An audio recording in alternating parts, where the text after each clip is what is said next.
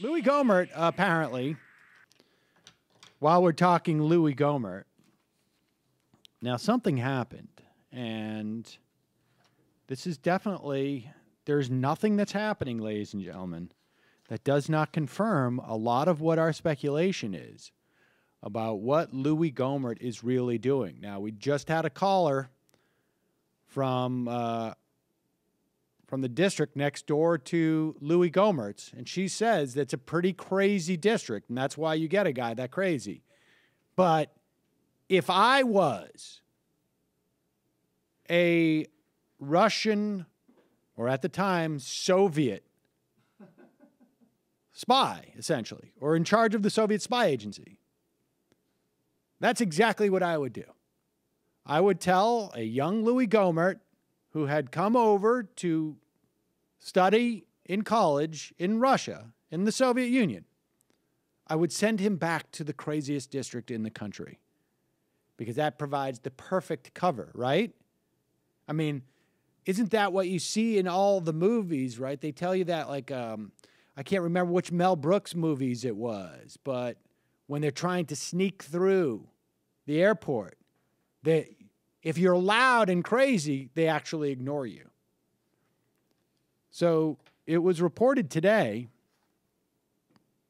uh, in The Hill and uh, other uh, outlets. Louie Gohmert was uh, was interviewed, or I guess they just reached out to uh, Gohmert from The Hill magazine. It's a sort of like a trade magazine for you know what goes on in uh, on the Hill in Washington. Hill reached out to Gohmert to ask if he'd be supporting Ted Cruz's presidential campaign. Gohmert said, quote, Ted is a good friend and would be an outstanding president. However, I haven't ruled out an exploratory committee myself. now, you'll recall Gohmert attempted to unseat John uh, Boehner from the Speaker of the House position and certainly, Gohmert has said far crazier things than he could be president. In fact, look, we all knew Michele Bachmann was never going to win. Raised her profile in time for her to have to leave because of ethical issues. But she's going to be able to go around the country now and make a living talking to the Yahoos. But then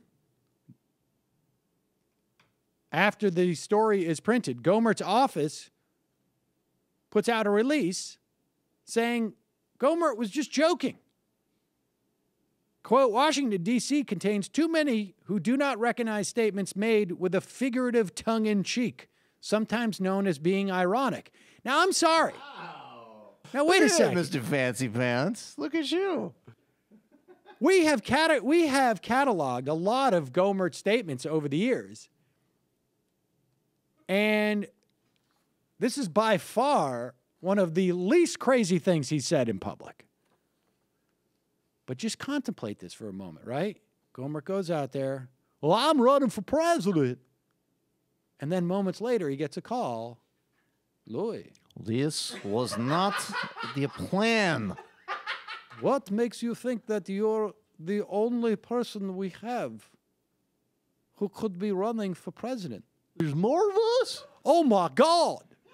Ted Cruz is also a secret agent from the Russian Empire?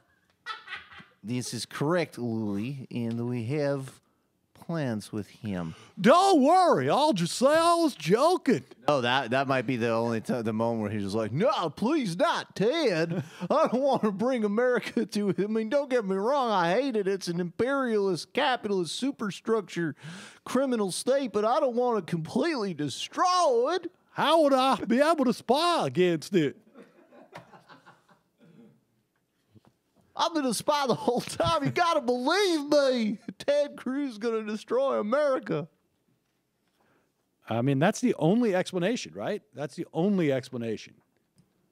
I- well, buy he's it. been brushing up on his irony skills and his sarcasm. That's The cute. That's God true. of the Let's start it. internet. That's right. Excuse me. No, think about it. All right. So this is all actually starting to make sense. So we know that Louie Gohmert uh, spent time in Russia as a young man. That's Yep. where he established and began to be handled by the KGB.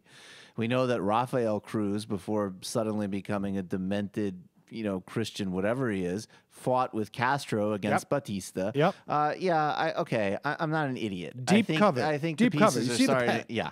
In fact, I'm not convinced that the whole fall of the Soviet Union wasn't just a scheme. Like they realized, like we have Louie in place.